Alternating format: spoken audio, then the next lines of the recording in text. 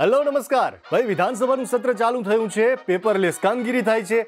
નવી ટેકનોલોજીમાં ફિટ ના બેસતા જૂના નેતાઓના કેવા દાવ થાય છે? ચાલો બતાવું.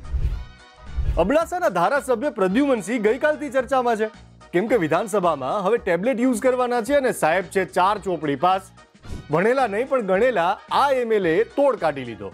ટેબ્લેટ પર ચિત્રો દોરી, મુદ્દા ટાંક્યા અને પૂછી નાખ્યા પ્રશ્ન. બધાએ તાળીઓ પાડી.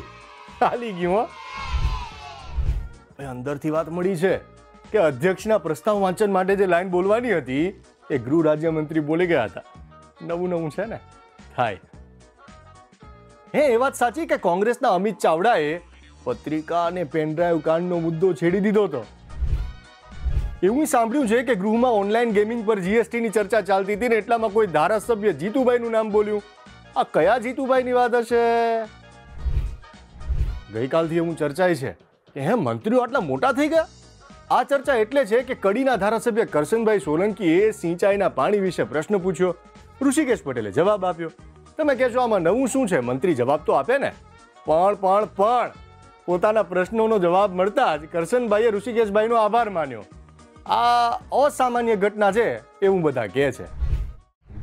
હવે વાત પાલિકાની ચૂંટણીની કરીએ. સાવરકુંડલામાં બે મોટા નેતા પોતપોતાના માણસને સેટ કરવા મતતા હતા ને એવું ચર્ચાતું હતું.